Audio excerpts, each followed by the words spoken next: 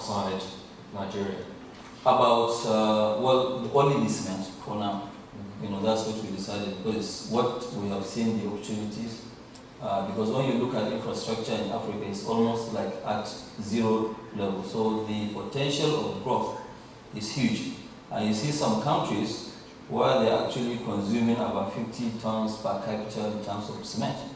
So there's a lot of opportunities uh, there. So we decided now, between now and 2014, we are going to be at about, uh, we're going to be at about 60 million tons in sub-Saharan Africa. And the decision is for us actually now to shift outside Africa and go to other, you know, areas, including, uh, you know, Iraq.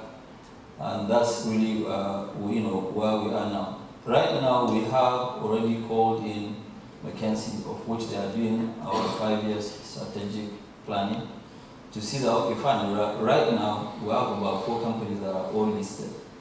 But based on the laws of our, you know, uh, our listing in Nigeria, the stock exchange, you have to sell up to maximum, uh, up to 20% minimum or much more. But we are reserving the balance so that we could list in uh, London Stock Exchange, which uh, most likely will happen uh, next year.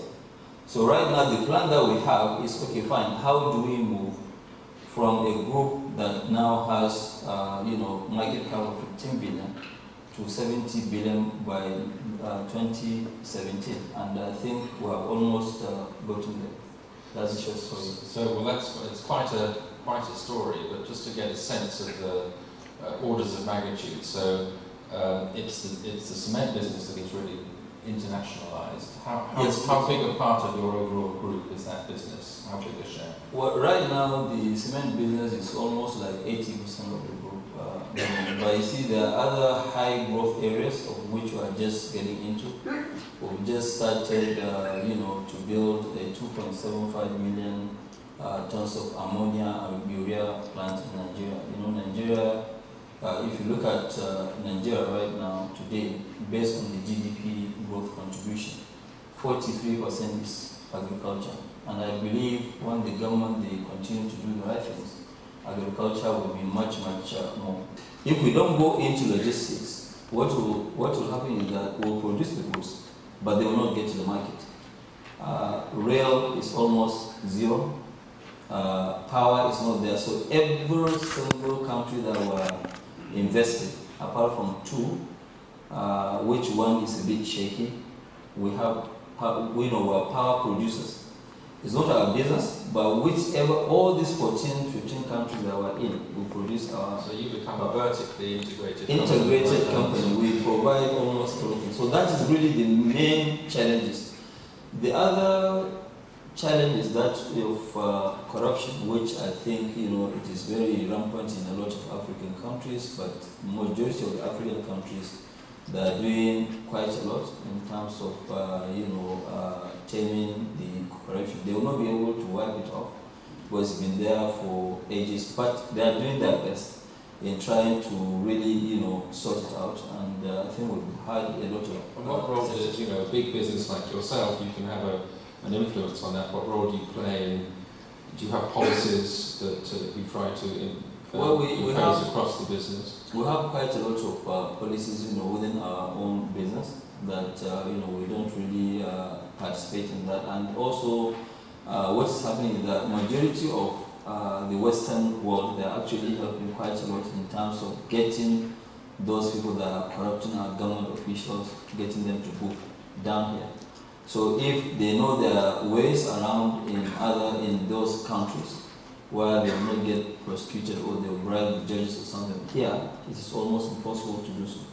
So a lot of them now, I know the ones that are not really serious, that are depending on government patronage, they're actually silently, you know, selling majority shares to the indigents so that, you know, at least uh, the uh, Corrupt Practices Act of UK, the one in the US and co will not be able to travel.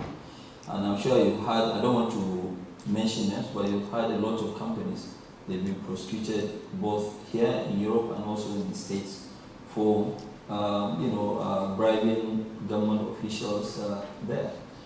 Uh, we on our own part, you know, we've done quite a lot in terms of sponsoring seminars, in terms of uh, making sure that we participate in advising government of what to do, what not to do. And I'm also part of the economic management team in uh, Nigeria. You know, I do advise and also the honorary International Investors uh, Council. And the other biggest challenge, like what I said, is that of infrastructure, because in some countries, you actually don't have power, no power, no roads, nothing. But you know, things can change. Uh, if you look at what Meles did, for example, in uh, Ethiopia, it's amazing, you know, growth of 10, uh, double-digit growth for 10 years. Uh, when he took over, yeah, Ethiopia had only 300 megawatts of power. And as of today, they have almost 7,000. They are going to be at about 13,000 in the next one or two years. So you can see that there are quite a lot of changes. Uh, the other difficulty that you, uh, which we realized when we started going to other African countries to announce, for example, let me be even a little bit more open. When we went to Tanzania uh, about four, five years ago, and we announced that we were going to invest $600 million nobody believed us, you know, and uh, they said that, well, you know, and uh, you know how it is because we had a lot of what you call most of these scams of people coming from Nigeria. So they said, oh, okay, this is one of the scams, you know, these guys, they're here again to announce uh, this kind of, so we have to be careful.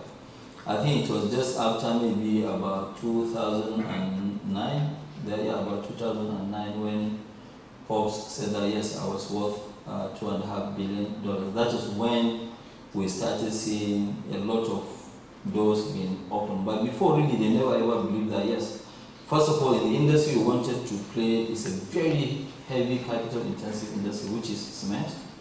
And uh, you know, we are not there. A lot of these big guys, they've been there 50 years, maybe three or five years before I was born and uh, been there, they know almost everybody. So what they normally do, they go and create a hurdle uh, on us, either by sponsoring somebody to take us to court or sponsoring the community to reject us. You know, uh, we've had those issues, but we've been managing those issues and we've been succeeding. We don't really give up. And uh, for now, you know, uh, a lot of uh, factories are open, you know, about to start very soon you mentioned that you were on the, you, you're advising the government in, in, in your own country, and I, I believe you, so, so you have, clearly have a good relationship with, with President uh, Jonathan, but you also had a, good relationship with President uh, Obasanjo. So all of them. All of them. So, so the question is, how critical is it, or how, how uh, vital is it to do business in Africa to have these political connections? Well, you know, there are lots of countries there. Nestle, uh, have one of the biggest operations in Nigeria. The biggest uh, money earner to uh, Heineken is in Nigeria. You know, they have a huge investment there. You really don't need to uh, know anybody to do business there. You need to know, yes, the right people so that when you have issues, and uh, even if you don't, you know, we have what you call Manufacturers Association of Nigeria where you can take your complaints and we have a one-stop shop there in Nigeria where you can uh, go to. But I'm not saying that there are no difficulties there, of course, and they come up every day. And uh, even to us, where you know our locals, we've been uh, investing heavily. But you know these issues, majority of the people are well exposed. You are having now, for example, people like uh, Ngozi Ikonja Iweala, you know, uh, who is the well, she's not only she's also the coordinating minister She's Minister of the Economy and also Coordination. And uh, she has been doing quite, you know, a lot. If you have problems, you can go to the uh, government. So you really don't need to know anybody.